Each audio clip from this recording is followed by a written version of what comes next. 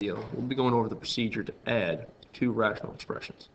So the two rational expressions you see I have here are 32 over x squared minus 16 plus 4 over x minus 4. So what I'd like to do to start is see if there's anything in the numerator or denominator here that will factor. So if I look at 32 over x squared minus 16, x squared minus 16 is a difference of squares. So I see this would be x plus 4 and x minus 4.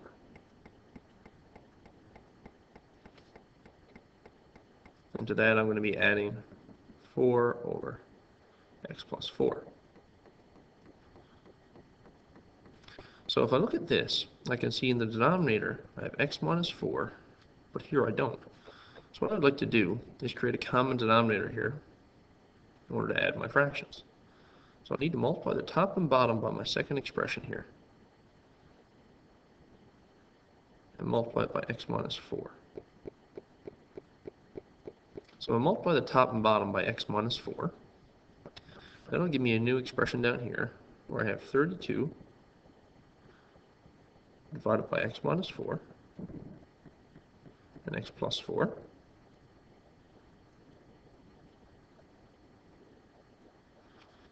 Plus, I'm using the distributive property up here, 4x minus 16. And now I've got that common denominator of x plus 4 and x minus 4. So what I can do now is I can combine the numerators here. I've got 32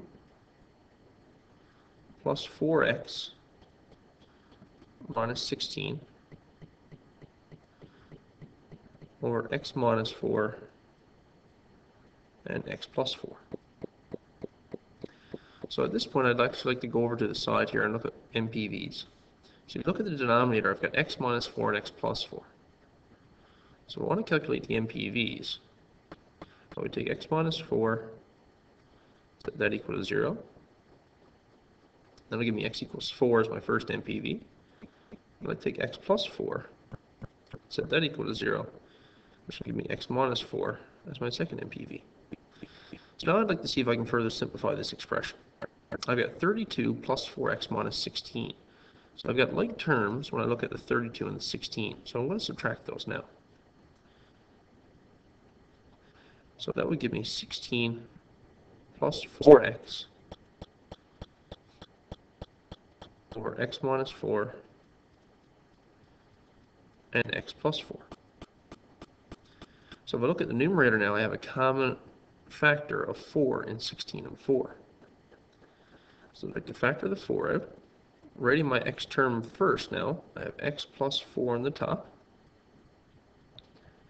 Now I have the same denominator as I had before x plus 4 and x minus 4. So now comparing the top and the bottom, I can see I have a common factor of x plus 4 in both the top and bottom. So they would cancel to further simplify. And I arrive at my final answer of 4 over x minus 4 and I need to state my NPVs as restrictions and say x cannot be equal to positive or a negative 4.